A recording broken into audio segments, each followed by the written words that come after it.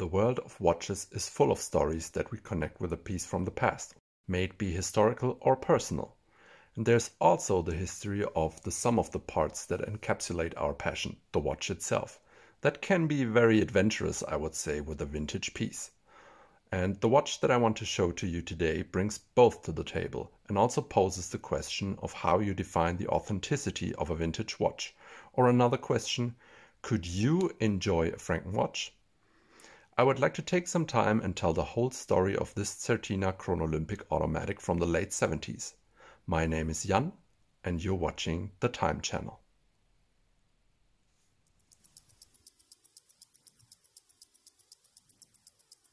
Many shy away of buying a vintage watch because it takes quite some research or knowledge if you're looking to get an authentic piece in a great condition and price. In that regard, this could be a cautionary tale since there are some aspects about my watch that are definitely not Certina-like. For example, why is there a Mido crown and case back on this one?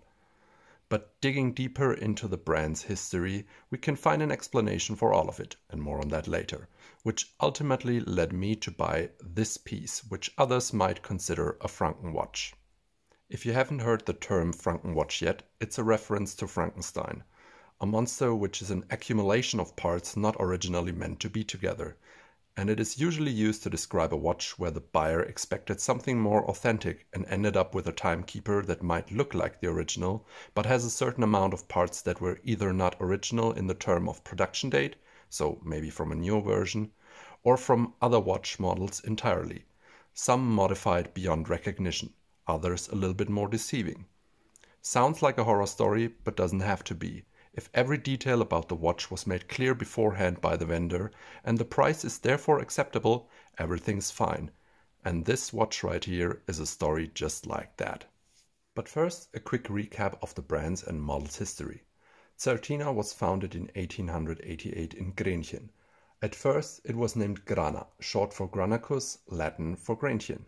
The name changed a bit around, and after 1938, it was only named Certina which again has its own roots in Latin, certus being safe or sure. They loved their Latin, I guess.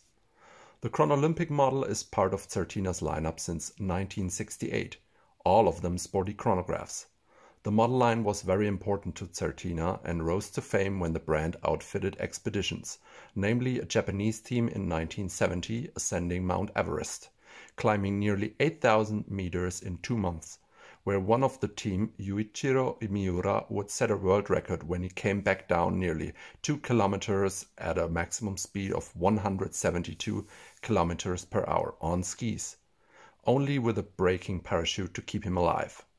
Remind you, that climbing expedition was no easy task back then, claiming the lives of eight members of the crew due to the harsh conditions and Miura himself lost control on an icy patch after skiing those two kilometers and was heavily injured. The skiing run was captured on film and became an Oscar winning documentation in 1976, which you can find on YouTube and a link in the description. It is called The Man Who Skied Down Everest.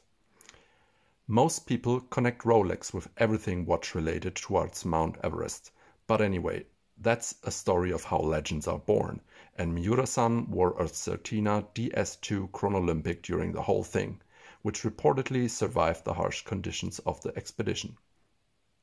Now, those models were all hand wound until in the second half of the 70s this particular model came around, housing an automatic movement for the first time.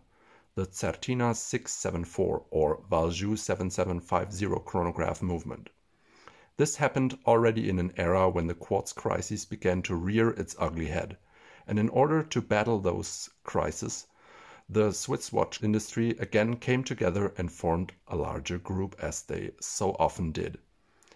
The already large ASUAG Group or Allgemeine Schweizerische Uhrenindustrie AG which was founded in 1931 to stabilize the Swiss watch industry as a whole, created the General Watch Company in 1971 to manage the production of complete watches, aside from its various parts manufacturers. Part of that General Watch Company or group were initially Edox, Eterna, Oris, Certina, Technos, Mido, Rado, and later on even Longines. Very famous names in the industry. I think you might know where this story is going. The last four of that list all came out with a particular version of the chronograph that I have right here, all powered by the Valjoux 7750 and housed in the exact same case, but different dials, hands, signage on the crown, case back and rotor. Therefore, it's not very surprising that someone, and sometime in the history of this particular watch, maybe chose parts of the Mido version as replacements on this one. This still makes the whole package not authentic anymore, but it, in my opinion, tells a great story of how the watch industry was made up and managed to survive in those harsh times. Considering all this background information makes me even more fond of this one, but I get that purists might find this off-putting. So after a brief detour into the history of the watch model and brand, I would like to talk about the piece that I have right here. It has a stainless steel tonneau shaped uh, case with 42 millimeters diameter um, without the crown and also 42 millimeters from lug to lug. It is 14 millimeters in height, has a brushed top of the case, I would say, with a um, sunburst pattern, and the sides are highly polished and angulated towards the main crown. It is a simple crown, so not screw down, and in my case, as I told you, it has the Mido signage. It has a mineral glass, which is unfortunately a little bit scratched up in my case, as you might see on uh, some of the shots, and I have it on an aftermarket black rally or racing strap with white stitching and a simple pin buckle, but I think that matches quite well to the vintage look of the watch. So what captivated me the most at first glance of this watch was the stunning grey-blue dial with the two off-white subdials at 6 and 12 o'clock with their black hands, while the small seconds hand is white and has only the Certina logo in the background, giving the watch a 2 rather than a 3 subdial look at first glance. The 30 minute counter has additional red accents for the 5 minute intervals, and the central chronograph seconds hand is in matching red. The hour and minutes hand are purely in a rectangular shape as well as the hour markers and both the markers and the hands have lume on them but unfortunately as it is with the 70s pieces the lume is deteriorated in this one. So on the outer rim of the dial or the rehaute you have uh, two scales. One is a pulsometer which goes from 12 o'clock to 3 o'clock and helps you measure somebody's pulse in a short period of time. And additionally you have a tachymeter scale starting in between 3 and 4 o'clock and going around the dial until 12 o'clock. Additionally, we have a day date window at 3 o'clock. My day is shown in the French language, and I think that um, maybe some of the discs might have been replaced here because the date and the day have not the same background color. So let's have a quick look at the case spec. Even though there is not a whole lot to talk about, as I told you, it has a simple stainless steel case back, but with the Mido signage in my case. And also you can see here the reference number 0900, which is the exact reference number that the Mido model of this watch had. So inside we have the Valjoux 7750 doing its work in an early version of it. It was produced by a company within the Ebauches SA holding, which can be recognized by the shield-like logo close to the balance wheel, which then contains the letter of the specific company within this holding that produced the movement. In my case, the Reymond Frères SA. That's why it has the little R on it.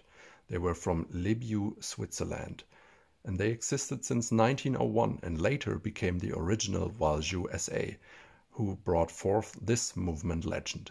So this earlier version of the Valjoux 7750 only sat on 17 jewels, while you might know the more modern versions with 25 jewels. This one also has several plastic parts like the stopping lever for the chronograph or the bearing of the chronograph center wheel, as it was typical for these first versions.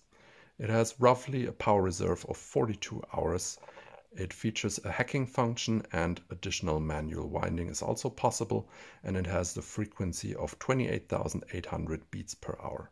I've seen some of these models having a Certina branded rotor And I also know that some of the early ones uh, did not yet have that signed one.